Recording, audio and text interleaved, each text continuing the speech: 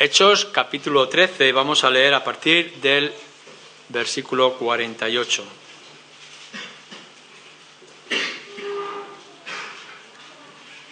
Dice así, los gentiles, oyendo esto, se regocijaban y glorificaban la palabra del Señor y creyeron todos los que estaban ordenados para vida eterna. Y la palabra del Señor se difundía por toda aquella provincia. Pero los judíos instigaban a mujeres piadosas y distinguidas y a los principales de la ciudad y levantaron persecución contra Pablo y Bernabé y los expulsaron de sus límites. Ellos entonces, sacudiendo contra ellos el polvo de sus pies, llegaron a Iconio y los discípulos estaban llenos de gozo y del Espíritu Santo. Aconteció en Iconio que entraron juntos en la sinagoga de los judíos y hablaron de tal manera que creyó una gran multitud de judíos y asimismo de griegos. Mas los judíos que no creían excitaron y corrompieron los ánimos de los gentiles contra los hermanos. Por tanto, se detuvieron allí mucho tiempo hablando con denuedo confiados en el Señor, el cual daba testimonio a la palabra de su gracia, concediendo que se hiciesen por las manos de ellos señales y prodigios. Y la gente de la ciudad estaba dividida, unos estaban con los judíos y otros con los apóstoles. Pero cuando los judíos y los gentiles, juntamente con sus gobernantes, se lanzaron a enfrentarlos y apedrearlos, habiéndolo sabido, huyeron a Listra y Derbe, ciudad de Licaonia, y a toda la región circunvecina. Y allí predicaban el Evangelio.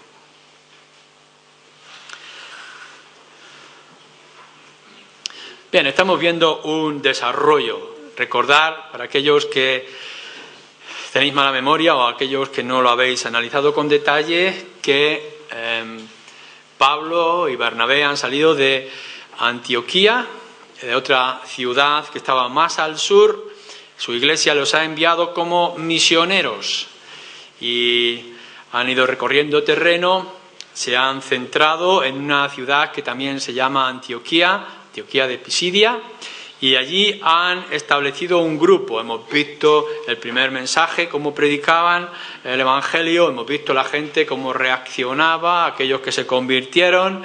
Lucas nos hace el detalle, nos señala el concepto teológico de que creyeron porque así estaba decidido de parte del Señor. Pero la obra sigue.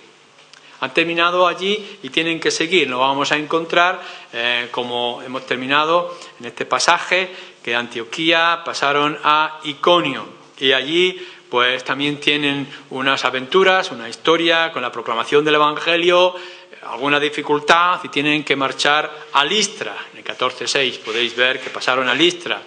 Y de Listra, Derbe también estuvieron y después vendría Pergue, Atalia y volverían otra vez eh, de vuelta eh, para recorrer las mismas iglesias y marchar a su iglesia original que los había enviado. Es un plan de la iglesia, un plan estratégico que les llevaría pues eh, algunos años. Y podemos ver no solamente cómo alcanzan esas iglesias y en cada ciudad grande y pequeña establecen un pequeño grupo, sino que la influencia del Evangelio se extiende también por todos los alrededores. En el versículo 49, 13, 49 dice, y la palabra del Señor se difundía por toda aquella provincia como podemos ver que gente viene de la ciudad, escucha, vuelve otra vez a sus aldeas, a sus grupos de trabajo, áreas de trabajo, y se va extendiendo el nombre y la gente eh, sale enseguida a ver qué es lo que está ocurriendo y quién son estos mensajeros, qué mensaje traen. Y no solamente que alcanza a los judíos, que es al primer lugar donde van, sino que también alcanza a los gentiles. Bien, podemos ver, por una parte, haciendo un recorrido de lo que hemos visto y lo que estamos viendo ahora, el resultado misionero de su trabajo. Por una parte, lo primero que ocurre cuando Pablo y Bernabé llegan a la ciudad es que se crea un revuelo, un despertar, interés de la multitud. Versículo 44 dice, el siguiente día de reposo se juntó casi toda la ciudad para oír la palabra de Dios. No es que se hubieran convertido, ni que aquella multitud se fuera a convertir. Pero es interesante lo que estaba ocurriendo en aquella ciudad. La gente quiere oír y por tanto buscan a aquel mercado a sus ojos de anuncios, de evangelios, de buenas noticias, de esperanza y demás. Ha despertado el interés. Tenemos que tener mucho cuidado con, despertar ese interés y no confundirlo con una verdadera conversión. Mm, se nos cuenta aquí en la historia de, España que durante un tiempo, sorprendentemente, para los tiempos en que estamos viviendo hoy, pero hubo un tiempo donde el Evangelio fue muy bien recibido.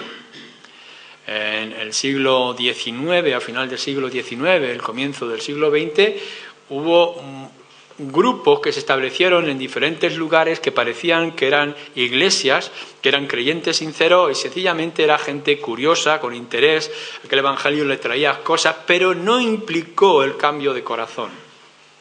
Por eso nosotros tenemos que estar siempre avisados de que aun cuando vamos a una ciudad y puede haber mucha multitud con curiosidad, eso no quiere decir que llegara a la conversión.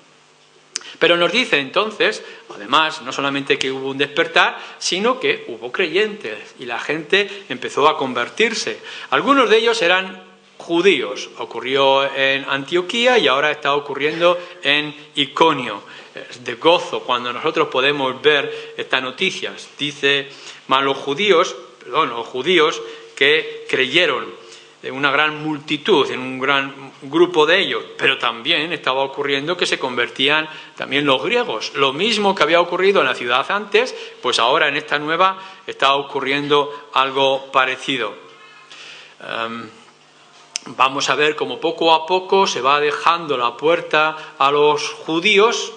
Pablo dice, si no queréis escuchar, yo me voy a los gentiles, que es para lo que he sido llamado y cada vez vemos más aquellos gentiles de los diferentes lugares que van recibiendo el Evangelio para envidia o celos de las sinagogas judías. Tal es así el resultado, nos cuenta nuestra historia, que se empiezan a establecer iglesias.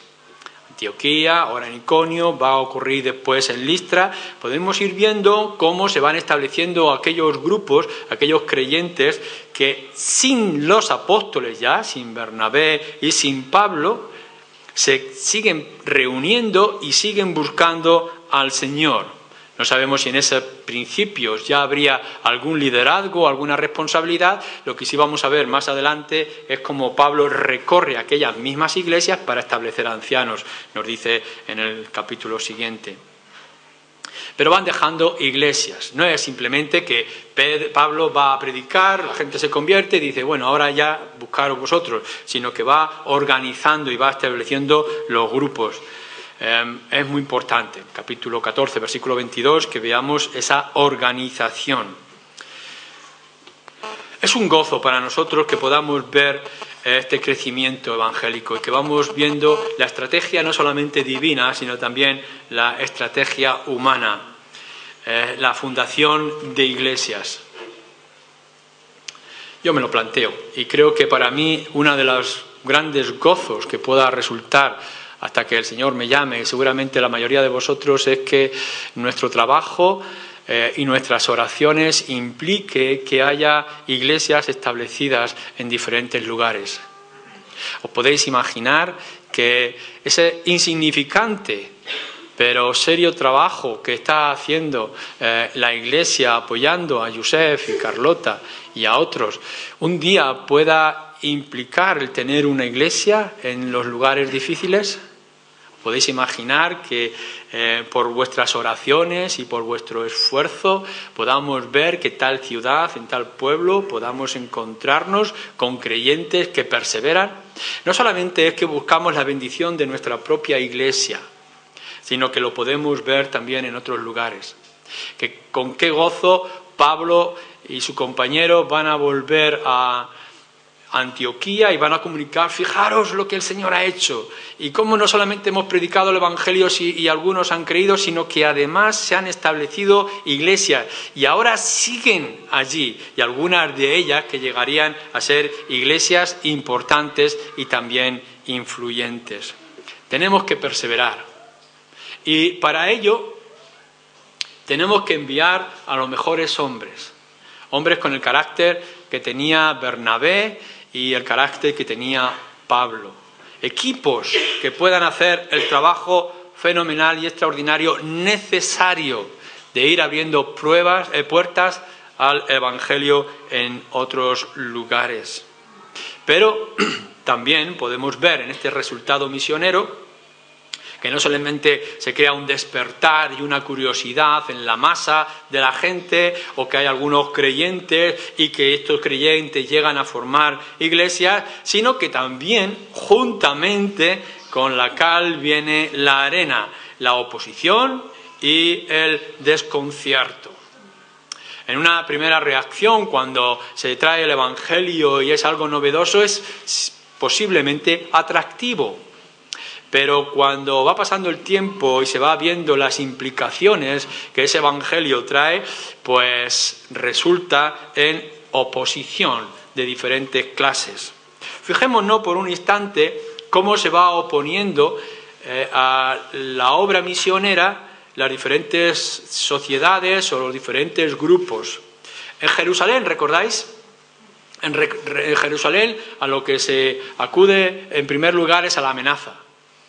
Se acercan a Pedro y a Juan y le dicen, ¿quiénes sois vosotros? ¿Por qué predicáis este nombre? Os hemos prohibido que no eh, atraigáis este nombre. Si queréis hacer milagros, hacedlo, pero no en este nombre. Y Pablo, perdón, Pedro y Juan dicen, no, nosotros vamos a seguir predicando el Evangelio. Entonces, prohibición. Después de la amenaza viene la prohibición. Os prohibimos que lo hagáis. Y si lo hacéis, entonces cárcel y prisión.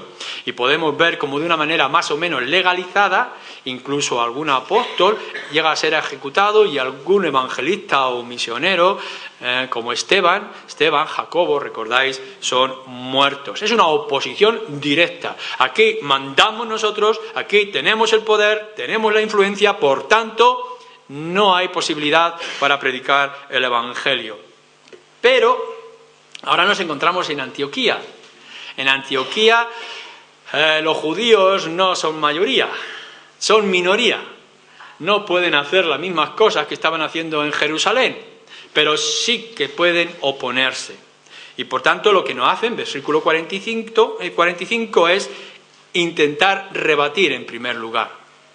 Cuando llegan el primer sábado los apóstoles a predicar el Evangelio, pues le reciben, ah, bueno, si queréis traer la palabra, pues quedamos para el próximo sábado y también nos traeréis la enseñanza. Pero cuando se dan cuenta los judíos que aquello se está escapando de sus manos y su dominio, que empieza a venir una masa de gente, no solamente judíos y también gentiles, nos dice que tienen envidia y entonces eso les lleva a intentar rebatir casi a lo loco intentando encontrar argumentos para frenar el poder de aquel mensaje de que hay perdón de pecados en el Señor Jesucristo. Hay un intento de rebatir, de discutir, de argumentar. Pero como esto no resulta, pues entonces nos llega, versículo 50, a animar a aquellas mujeres a instigarles, dice, las instigan, las incitan, las inducen a oponerse. Ay, la estrategia de aquellos tiempos y de aquella gente no ha cambiado mucho en los tiempos de hoy. Nos acordamos, por ejemplo, de que un día nuestro Señor Jesucristo entró victorioso, recibiendo, recibido con, con alabanzas del pueblo, Osana, bendito el que viene en el nombre del Señor. Pero los judíos, en su astucia maligna, nos dicen los evangelios, Después, cuando Cristo es apresado, animan a la gente para que cambien su clamor y en lugar, Osana, bendito el que viene en el nombre de Yahvé, puedan decir, crucifícale, crucifícale. Fijaros cómo cambia la masa. En unos pocos horas, casi um, unos instantes, de poder decir, alabado sea aquel que viene victorioso, ahora dice que muera, que se muera.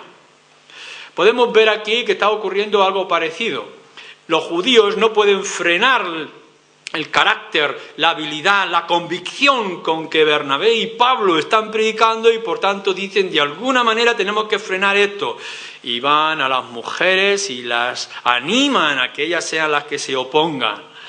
Me puedo imaginar aquellas mujeres eh, religiosas a su nivel, algunas serían judías, otras serían gentiles, pero temerosas del Dios de las Escrituras, hablando a sus maridos, instigando también en sus hogares, diciendo, pero marido mío, ¿cómo es que no te opones a aquello que nos han dicho el representante de la sinagoga? Y las mujeres empezaron a animar o a alterar la situación. Es una manera interesante de oponerse al Evangelio. No solamente cuando uno no puede, sino que anima a otros de un carácter diferente a hacerlo. Nos dice en el capítulo 14, en el versículo 2, que estaban corrompiendo los ánimos. Fijaros cómo nos lo dice, de las autoridades y del pueblo han levantado, tanto en Antioquía como en Iconio, el ánimo de la gente y lo corrompen. Quizá con algunos argumentos diciendo estos se van a cargar el imperio romano o esto van a traer problemas de disensiones y divisiones. Esto es una secta peligrosa que va a dañar los fundamentos del Estado y no sabemos qué otras cosas. Pero no solamente instigaron los ánimos, la voluntad, el carácter de aquellas mujeres que eran temerosas de Dios, pero que además fueron al mismo gobierno y fueron a los gentiles a intrigar para oponerse al evangelio que se estaba predicando. Entonces podemos ver que las mujeres, y luego nos dice que también los, representantes del gobierno, los gobernantes y todo el pueblo en sí, los que no creían, no permitían que aquel evangelio eh, se predicara. Pero ¿qué nos dice el capítulo 14, versículo 19? Dice, entonces vinieron unos judíos de Antioquía y de Iconio que persuadieron a la multitud y habiendo apedreado a Pablo, le arrastraron fuera de la ciudad pensando que estaba muerta. Bueno, la cosa está seria y va a llegarse incluso al intento de la muerte, como podemos ver más adelante. Esto no tiene freno.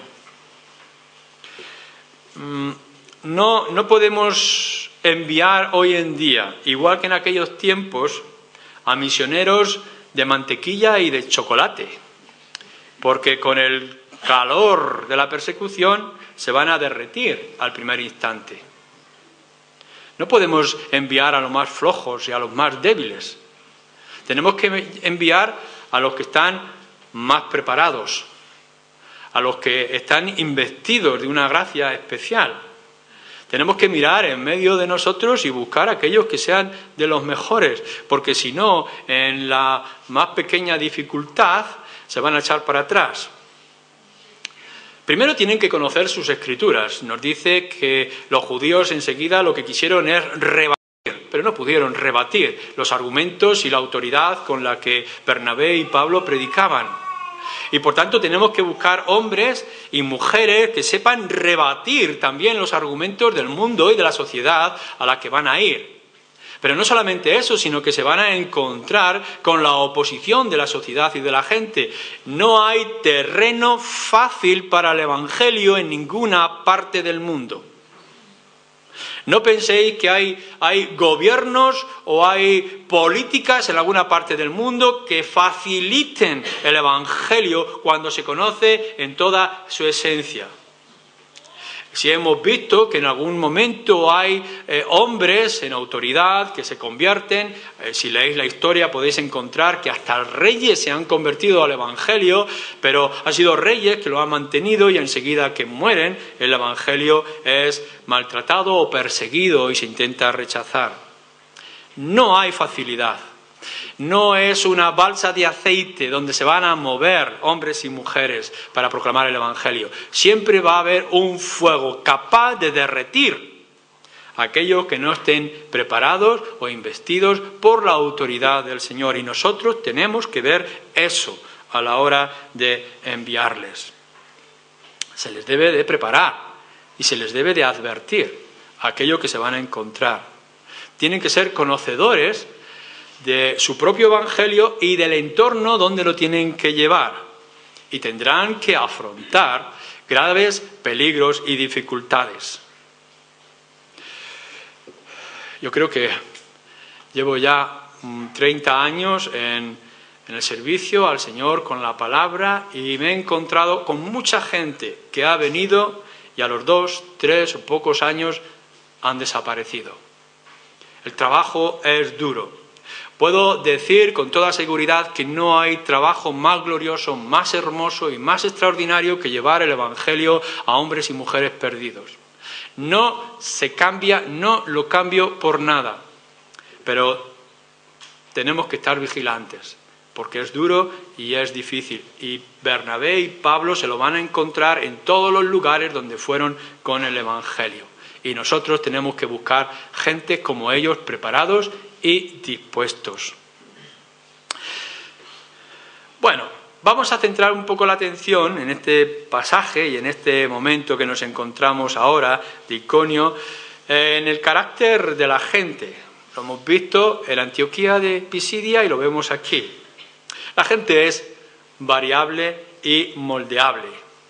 En un principio es curiosa, pero después, como podemos ver, se oponen. Pueden llegar eh, Pablo y Bernabé y proclamar el Evangelio y la gente, ah, qué interesante y qué bonito, oye, qué buenas cosas nos dice, me gusta a mí ser como vosotros. Pero enseguida vienen aquellos celosos, envidiosos, judíos y les incitan y les cambian su mente y de aquella predisposición se vuelven en violencia y en rechazo. Lo que puede ser curiosidad eh, se puede convertir en un solo instante en una oposición dura y difícil. Uno de los sectores más influenciables es el de las mujeres. Podemos encontrar eh, que las mujeres en masa, en grupo, se convertirían en el ministerio de Pablo. Tiene que señalar Lucas en algunos momentos que muchas mujeres, o un gran número de mujeres, también de hombres, creyeron el Evangelio. Pero en otras ocasiones podemos encontrar que las circunstancias pueden variar mucho en ellas y que son fáciles de llevar, quizá por su sensibilidad, por su disposición, pero también por su tradición y arraigo. En nuestro país eh, se nos caracteriza, por ejemplo, en que en los entierros los hombres se quedan fuera de la iglesia y se van a los bares. Y cuando calculan que ya ha terminado el funeral, pasan todos a despedir eh, al fetro, al muerto, y a dar saludos a los que quedan. Eh, podemos ver lo reacio que es cuando invitamos a la gente a que sean mujeres las que vienen a nuestras reuniones y que los hombres se endurezcan.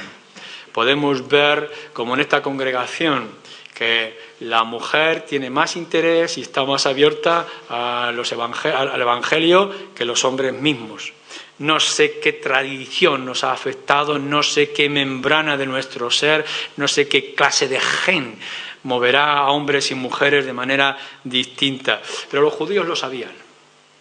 Y dice que instigaron a las mujeres, en primer lugar, aunque luego también a las tradiciones. Hermanas y amigas, mujeres que estáis aquí, el Señor os ha dado el corazón con la facilidad para recibir el Evangelio pero también no os dejéis engañar por todos aquellos que puedan enseñar o que puedan decir a vuestro alrededor. Confirmar firmemente esa fe que decís tener en el Señor y que no venga nadie y os lo dañe y os lo cambie. La sociedad es muy conservadora, muy celosos de su tradición, no solamente en España, sino que lo son en otros lugares. Cuando se toca, se toca la membrana de sus tradiciones y de sus costumbres, cuesta mucho de cambiar.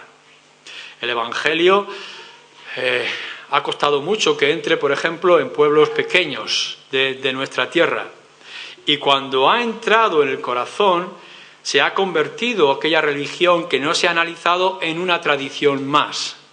Y podemos encontrar ahora que hay creyentes tradicionales evangélicos y que es muy difícil que cambie, pero a la misma vez también muy difícil que lo sientan. ¿Qué es lo que estás creyendo tú y por qué lo crees?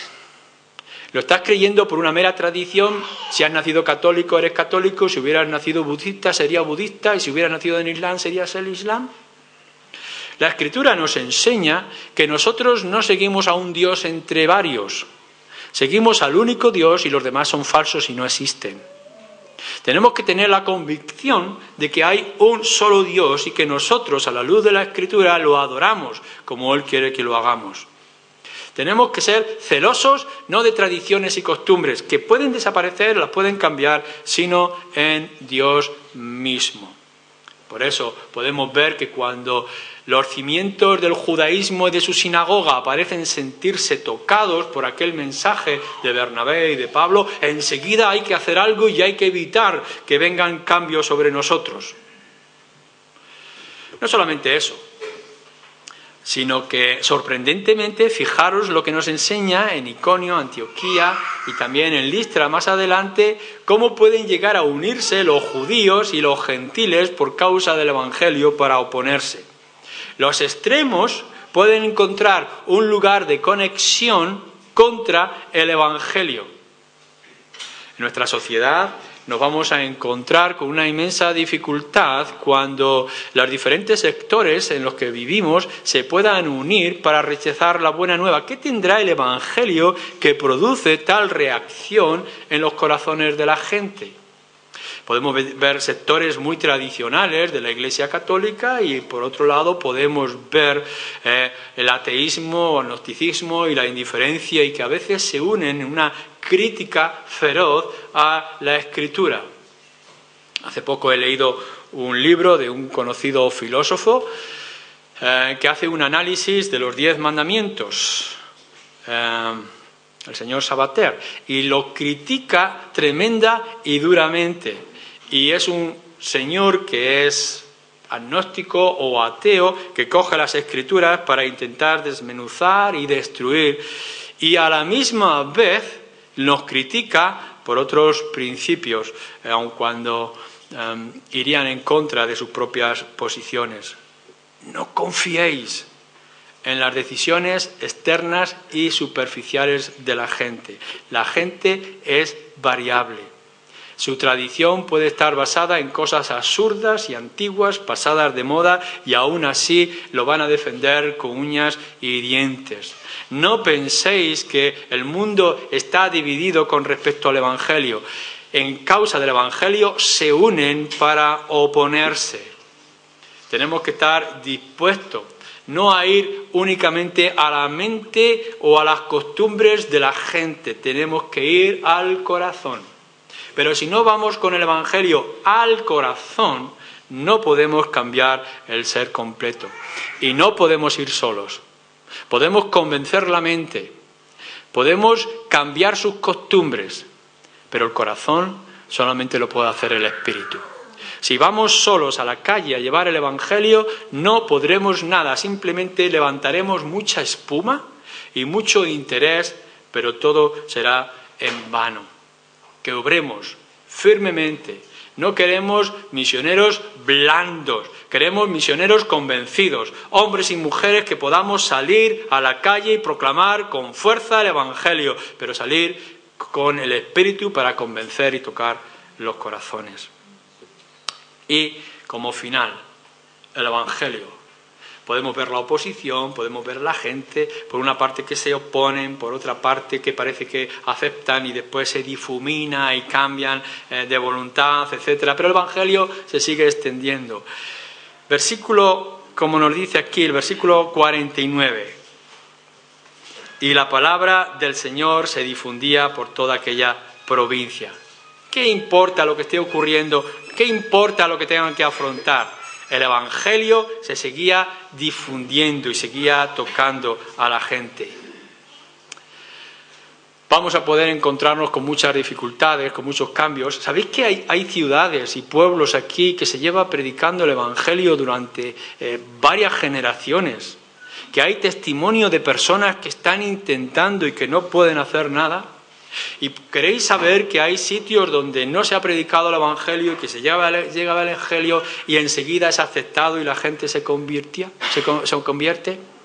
Hay pueblos en la sierra que llevaba gente con mucha debilidad y mucha flaqueza eh, de, mm, medios y de posibilidades y predicaron el Evangelio y se levantaron iglesias que han durado allí cerca de 100 años. El Evangelio es poderoso. Podemos estar pensando que vamos a conquistar una zona y el Señor está obrando por otra. A pesar de la oposición y de las dificultades, el Evangelio se difunde y la palabra del Señor era predicada, nos dice. Y se establecieron iglesias. Versículo 52 nos ha dicho de Antioquía, el 14.1 nos va a hablar de aquel grupo en Iconio, en el 14.21 podremos ver también eh, de Listra. Constantemente el Evangelio va a ir cimentando los corazones de las personas.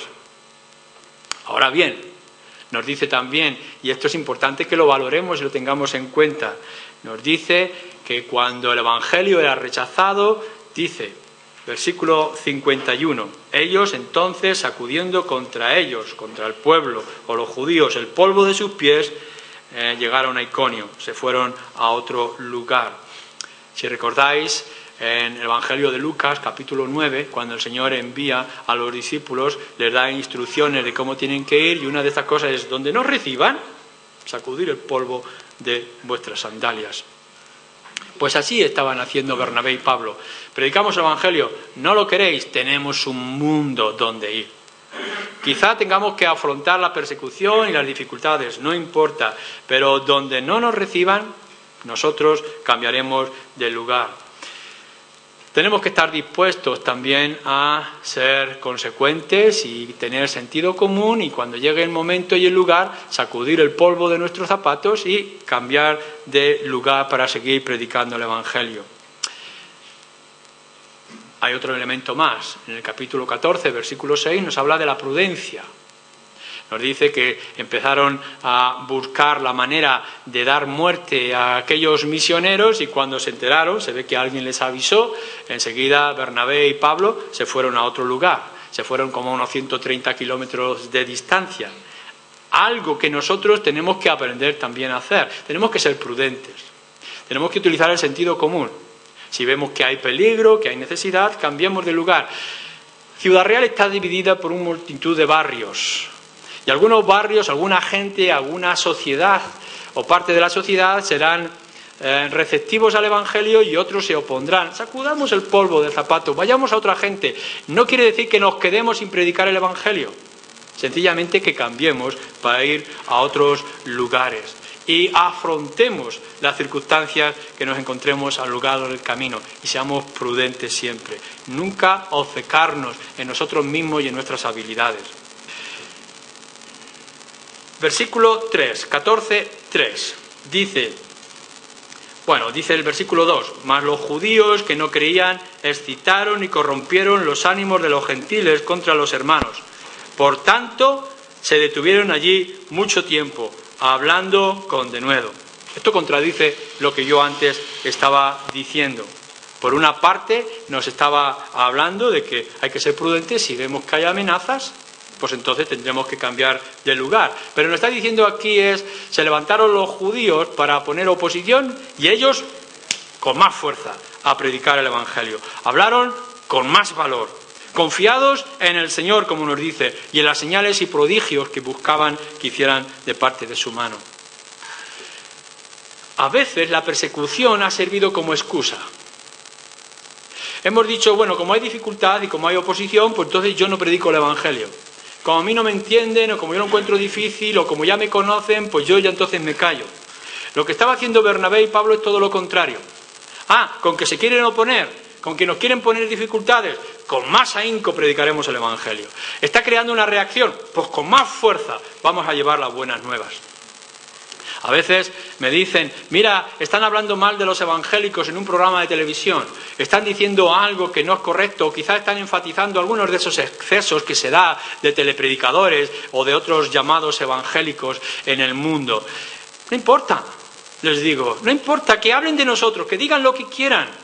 Nos da más pie para que nosotros podamos salir y predicar el verdadero evangelio. Una de las cosas más difíciles es la indiferencia de las cosas que tenemos que romper, de los muros más grandes y más gruesos es la indiferencia de la gente. Pero si son incitados en nuestra contra, si ponen oposición, si muestran burla y desprecio, no importa, eso tiene que ser un ahínco. Si hablan de nosotros, hablemos. Y hablemos del Evangelio. Y mostremos el poder del Señor. Que el Señor esté de nuestro lado. Tenemos que predicar el Evangelio confiados en el Señor y no confiados en nuestra habilidad o confiados en el interés de la gente. La oposición tiene que estimularnos en lugar de buscar excusas para abandonar.